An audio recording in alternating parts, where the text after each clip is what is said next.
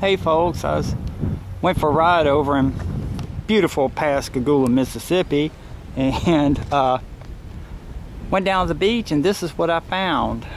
Um, it's a it's a dredge and never been up close to one so it's that's a, got a Detroit I don't know how big that is but it's huge got two mufflers so I'm assuming it's got to be about a D12 that's radiator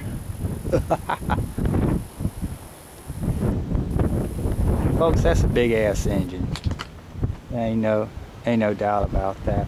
But it's all to drive a big ass pump. there at this. Is this slicker now shit or what? Um, let's see if we can read on. See, there's the thing. It says Amsco dredge pump. 16 inch. Whew. Yeah. Oh, oh, can't, I don't know. Yeah, that might be the impeller. Yeah, it looks like the impeller up in there. But,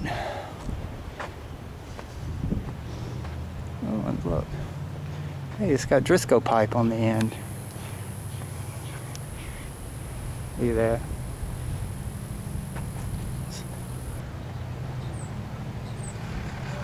Fucking massive, people.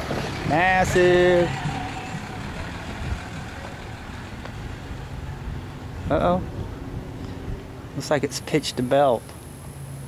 Or maybe they don't transport it with the belts. Hell, I don't know.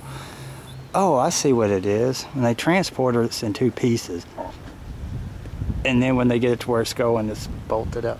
But anyhow, I just thought that was fascinating. Thought I would share, so y'all take care, be good, be careful, and I'm going to go play some more. Bye-bye.